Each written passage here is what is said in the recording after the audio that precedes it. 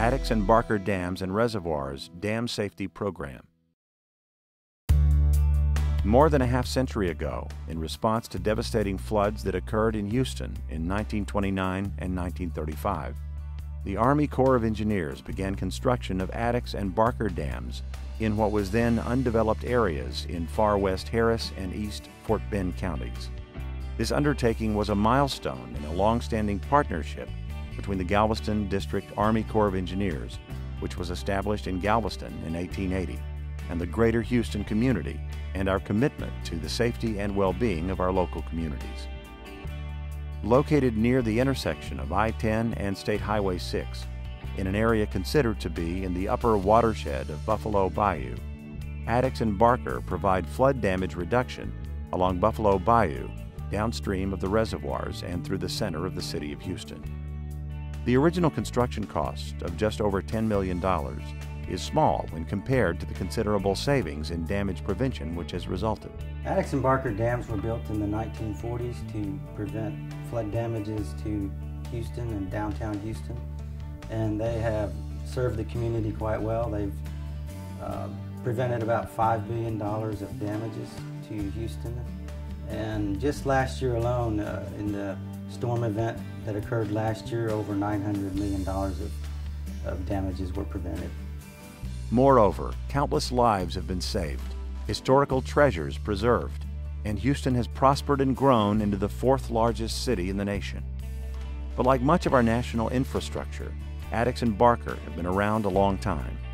The Army Corps of Engineers continually inspects all of its dams nationwide under its Dam Safety Program, a program that shows our commitment to protecting lives, property, and the environment by ensuring that all dams are designed, constructed, operated, and maintained as safely and effectively as possible. The Corps of Engineers has always maintained a robust dam safety program. And as we continue on in the future, we, we look at a number of ways we can continue to improve upon our record of dam safety. Uh, the first step, of course, is to maintain an aggressive inspection program. We want to make sure that if there are any problems, structural problems, uh, that evolve along the dam structure, uh, that we notice those in early and so that we can take aggressive measures to, to address those, those potential issues on the dam structure. Uh, in addition, we're also looking at ways that perhaps in, in the design of the dams we can improve the, the structure so that we can even uh, better uh, protect the the populations around Houston and for at higher, uh, for, for greater flood events. The Dam Safety Program is currently transitioning to a program that combines dam safety risk and potential consequences when making decisions about Corps of Engineer dams. As part of this transition, Addicks and Barker have undergone a recent evaluation, as have all Corps of Engineers dams nationwide. Two areas of concern the outlet structures, and the ends of the dam were identified. By combining these two areas of concern with the potential consequences to the City of Houston should there be a dam failure, Addicks and Barker have been designated as extremely high risk. This does not mean that Addicks and Barker are in imminent danger of failing. First of all, they are also reservoirs which retain rainwater, and they are dry much of the time. Secondly, Addicks and Barker are continually monitored and inspected to ensure their structural integrity. But the fact is that the Houston metropolitan area is the nation's fourth largest, so it is obvious that any dam safety issues here could have a higher risk of impact on people and property than most other dams in rural or smaller urban areas.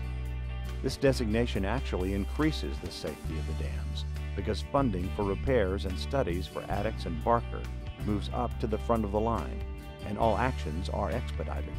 What this does mean is that the risks are actually lower now than they were before last year's storm.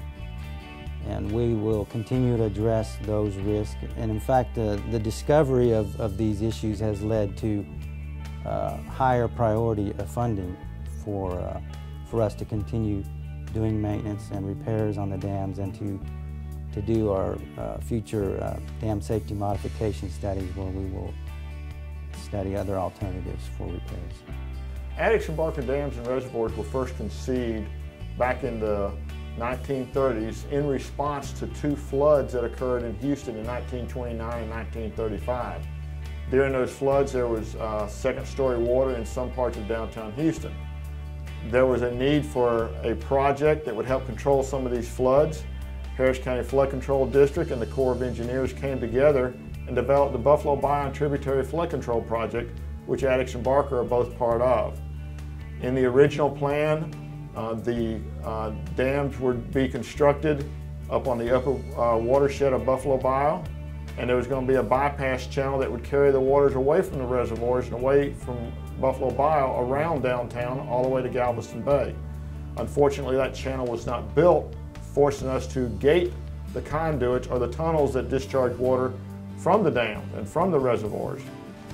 With increased development downstream has resulted in decreased releases or flows out of the reservoirs, and with increased development upstream has uh, resulted in increased pools, more frequent pools for a longer period of time, uh, forcing quite a bit of change in the way Addicks and Barker are operated and maintained today.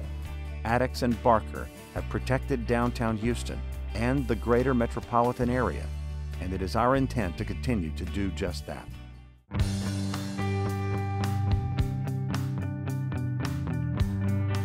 To better understand the current situation with Addicks and Barker, let's take a moment to review the operations of the dams. The Addicks and Barker uh, reservoirs work by uh, collecting rainfall which falls into the Addicks and Barker watersheds, and impounding that rainfall um, to, to prevent flooding downstream along the Buffalo Bayou uh, uh corridor.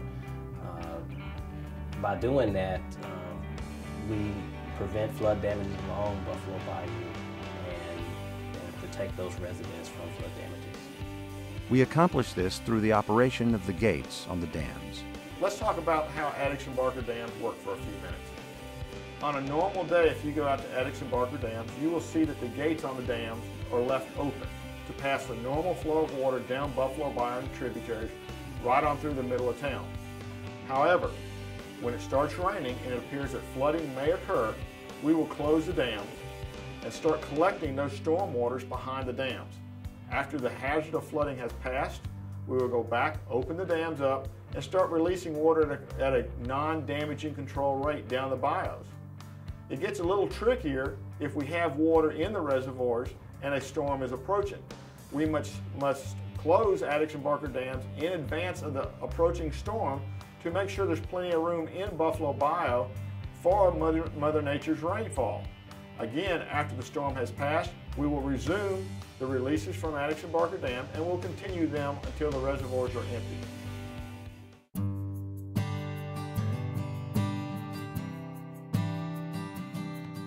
The dramatic changes to the areas downstream of Addicks and Barker dams have also led to large changes in the water control structures of both dams and the way they are operated.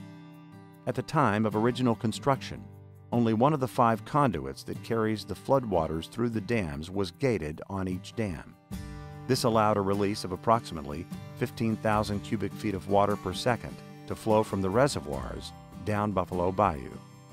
By the early 1960s, the Corps had gated all the conduits on Addicks and Barker dams, and releases were reduced to 6,000 cubic feet per second.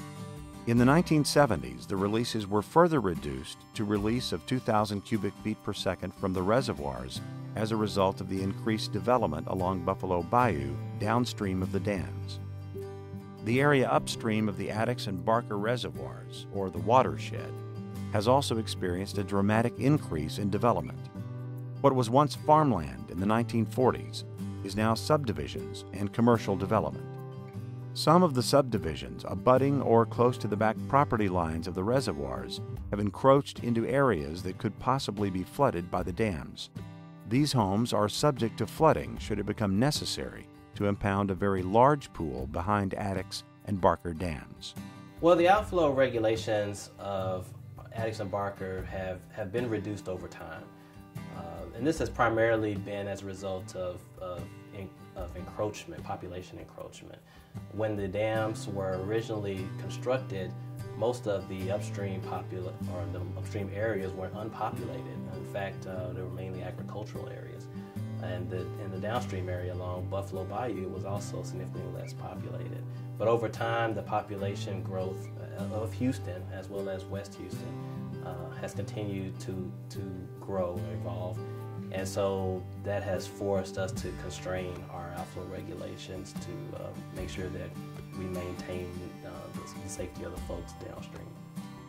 Let's take a look at two concerns that were raised by a recent evaluation. First, the outlet structures. The issues with the outlet structures are primarily associated with the foundation material beneath the conduits. This material is very fine grained sand and is very susceptible to erosion. The dams were originally designed and constructed as storm water detention basins, basically a large version of the detention basins you see all over town behind large shopping centers. There has been tremendous amounts of development occur both upstream and downstream of Addicks and Barker dams. Uh, what this means is that we've had to maintain pools of water for a much longer period of time. The, the dams were never built to maintain pools for an extended period of time. Originally, they were built with no, no gates. We've had to add gates to minimize the flow that, that goes down the bayou to prevent damages. And what, what that has resulted in is pools of water for longer periods of time. This has resulted in some seepage issues underneath the conduits since they were never really uh, designed to, maintain, to uh, hold a pool of water. In the fall of 2008, as part of our ongoing inspection program, we used ground penetrating radar to check the integrity of the foundation beneath the conduits and found what looked like potential voids. We engaged the services of an architectural engineer and were in the process of completing plans and specifications for a contract to fill these voids. But a large rain event over the watersheds filled Addicks to the second highest pool of record, and Barker the seventh highest pool of record. Because of this rain event, we awarded an urgent and compelling contract to a local contractor and began filling the voids immediately using a polyurethane material. During the course of this work, we were able to confirm that there were voids under the conduits. We have recently awarded a second contract to confirm the adequacy of this first void filling effort as well as fill any remaining voids and install inspection plugs that can be used to track the integrity of the foundation in the future. This work should be complete in the very near future. We're also planning uh, further repairs to the uh, conduits to build a filter, what we call a filter wrap around the conduits. And, and the purpose of that is to, to, um, to minimize um, loss of uh, the fine-grained soils that are underneath the, the conduits that have created those voids. And so that, that's uh, another uh, project that we have planned for the very near future. Concurrently with doing these immediate repairs, the Corps is conducting a dam safety modification study, which will look at all long-term alternatives to address any issues associated with the dams. This study is expected to be completed in about three years. The second area of concern with the dams are the ends where the dam embankments tie into the natural ground. These are also the areas where the dam embankment is lower and is armored with concrete. The lowered, armored embankment is designed as an uncontrolled spillway. Following a huge rainfall event or a large rainfall event on top of a full reservoir, the intention of this uncontrolled spillway is to allow water to safely flow over and out of the reservoir thus preventing overtopping and catastrophic failure of the dam. The concerns associated with this are how this embankment section would perform if it were ever used, and where the water would go after it left the reservoir. Another concern is the elevation of the natural ground that the embankment ties into. The natural ground is at a lower elevation, so the water will flow over the natural ground before it goes over the uncontrolled spillway. These issues are being addressed in the Dam Safety Modification Study.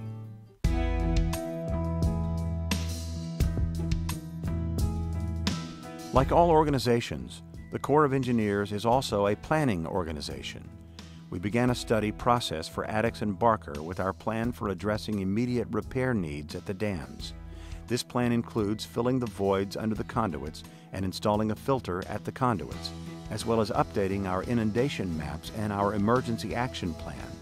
This work is all underway. We are also undergoing a risk analysis of the dams, which will confirm the areas we are focusing on and will describe the risk associated with these areas.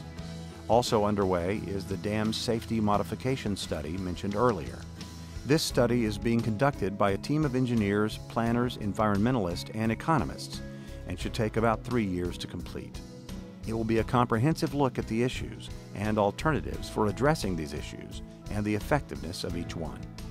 The study will also include an independent external peer review by engineers and scientists from outside the Corps of Engineers. Throughout this process, the Corps is committed to your safety and is urgently addressing issues that need immediate attention, with long-term solutions to follow the formal study process. We are doing, and will continue to do, everything possible to keep you safe, just as we have done throughout the life of Addicks and Barker dams.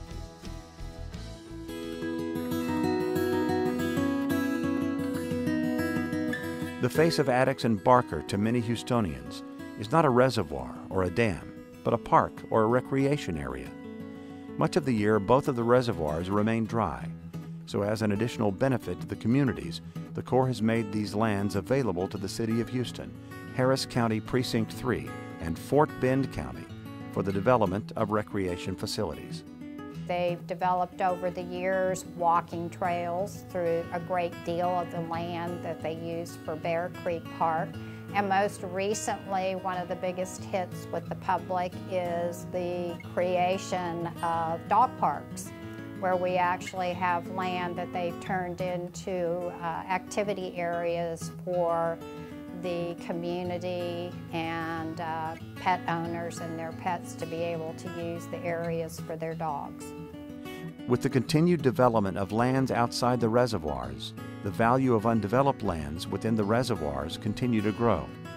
We realize the importance of these natural resources to our community and work diligently to balance the development of recreational facilities within the reservoirs with the protection of the natural resources. The Corps of Engineers has been a part of the greater Houston community for more than a century. Everything we do, every action we take, every mission we accomplish, every project we build is for the good of America's citizens. Addicks and Barker reservoirs were born out of the devastating floods in the early part of the 20th century and continue to this day to protect the citizens of Houston. Our commitment to you is to do everything in our power to continue that protection and to prove our Corps of Engineers motto of building strong.